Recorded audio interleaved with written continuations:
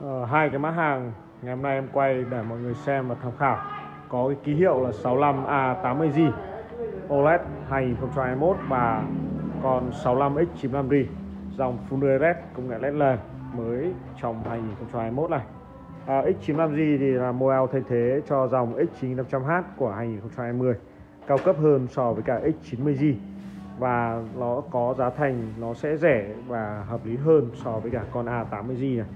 Solama 80G thì tại Ecomat đang bán. Sau khi trừ hết quà thì con này đang về còn khoảng là 45 triệu 800 45 triệu 8 45 triệu 7 45 triệu 8 còn đối với thằng X95G trừ hết quà thì con này đang về còn là 39 triệu 890 nghìn. 39 890 và 45 8 thì nó đang chênh nhau khoảng tầm 6 triệu. Vậy thì 6 triệu này có những cái gì khác biệt? Có những gì tương đương?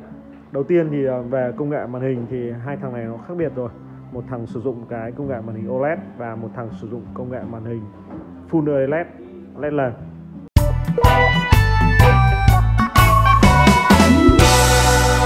uh, Android OLED Solid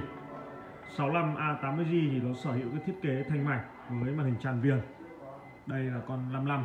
còn bên cạnh em em đang quay là con 65 thì đã tiện hình dung về cái thiết kế bên ngoài so sánh với cả X95G thì em đang đặt hai cạnh hai con này cạnh nhau.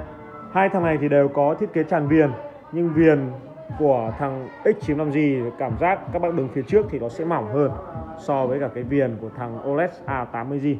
à, cái thứ hai khác biệt đó là cái thiết kế viền kim loại màu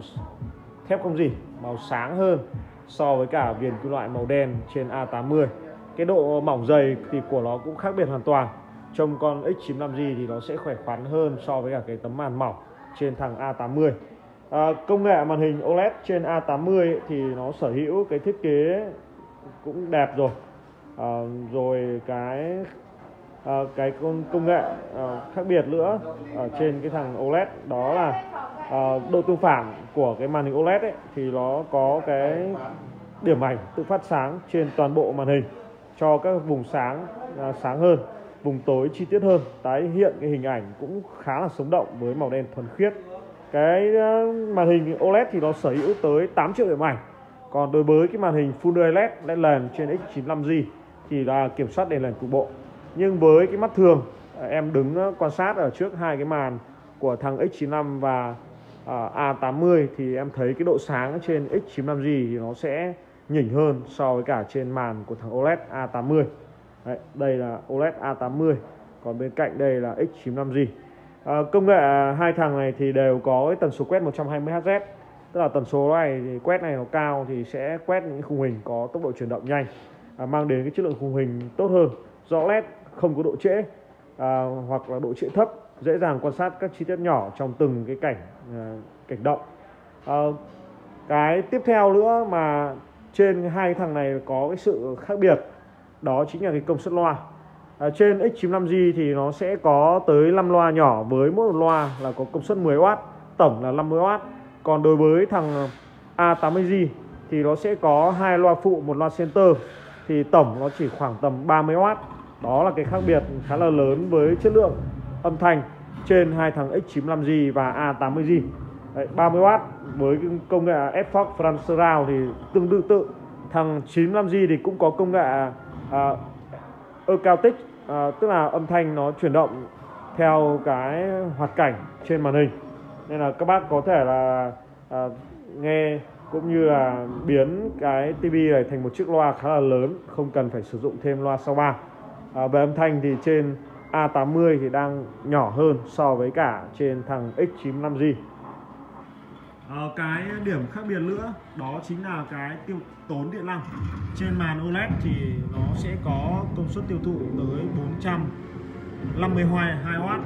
còn đối với 65X95G thì công suất uh, tiêu thụ nó chỉ khoảng tầm 281W thôi. Để các bạn nhìn này.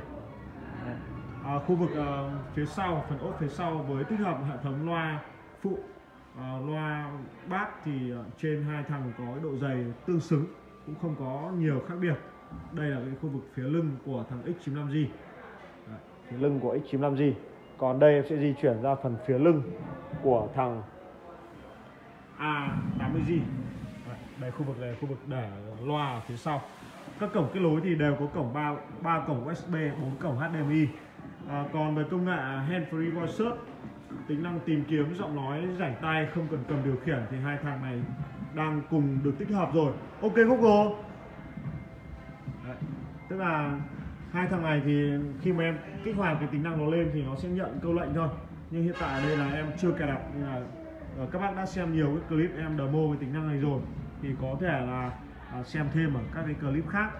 Còn về thiết kế đánh giá chung nhìn chung ấy, thì em thấy con X95G nó có cái thiết kế bề ngoài nó vuông thành sắc cạnh và mạnh mẽ à, khá là vững chãi hơn so với cả cái độ mỏng manh trên màn của OLED thứ hai là về cái về lâu về dài về cái chi phí sửa chữa à, bảo hành. Thay thế thì trên X95G cái à, chi phí sửa chữa thì nó sẽ rẻ hơn so với cả A80G nên là thời điểm này nếu mà các bác còn lăn tăn trong phân khúc TV 40 triệu màn hình 65 inch mà các bác không thích trải nghiệm cái công nghệ màn hình OLED và chỉ cần một chiếc TV có cái thiết kế tràn viền viền kim loại xịn sò sang chảnh thì có thể lựa chọn con X95G Đấy, hoặc là các bác chờ khoảng thời gian nữa giá thành nó ổn định nó tốt hơn thì lên lựa chọn cái mẫu này để có thể trải nghiệm. Đấy, một mẫu TV có chạy hào hành Android 10 giao diện Google TV mới điều khiển tìm kiếm giọng nói thông minh trong năm 2021 à, xuất xứ Malaysia. Đấy, thì em so sánh khá là nhanh để mọi người xem và tham khảo. Đấy, cảm ơn các bác